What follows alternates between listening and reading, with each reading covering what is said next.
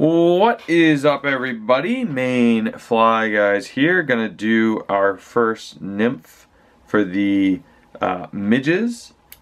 These are super super simple. Um, you could just put a wire body on what I have now and that's a midge. Um, however, I'm gonna try and make things a little spicy for us um, and do sort of a midge that I like to make First, I'm just starting off with black thread. Again, you can use any color combo. There's so many different midges out there. Um, and what I have, I just have a little orange bead on. It's, you know, just a little hotspot bead. Um, but what I'm going to do, make sure I get that in right. That looks good. Is I'm going to put a little bit of flash in.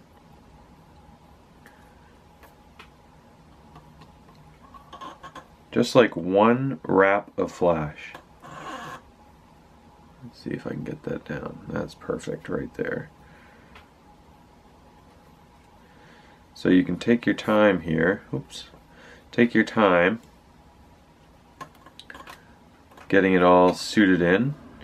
Trim off the excess really close. Okay. And I want it to be just a perfect little section. So I'm going to go back and forth, trying to keep my size consistent. How's that look? That looks pretty good. Because midges, midges do not um, really have a thick taper. That looks pretty good.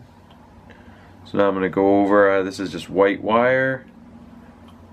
hit it right in the middle for some stability.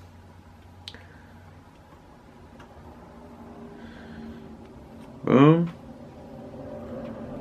Catch that wire at the front.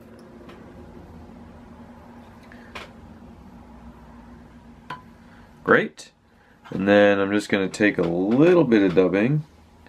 It's covered in deer hair right now. Just a little bit of dubbing. Just a wee bit of orange. Put a little collar there. Just as about as I'm about to be done, come through Give it a little whip finish. And boom. There's, I mean, it's still a quick little midge, you know, um, but it's just a little different. Uh, something that maybe not everyone is throwing, you know, if a fish, if you're fishing a place that gets hit pretty hard and you know there are midges around, you know, something a little different, something to maybe pique the interest of, uh, of a few unsuspecting fish. So that is our pattern, just a little something different there's our midge.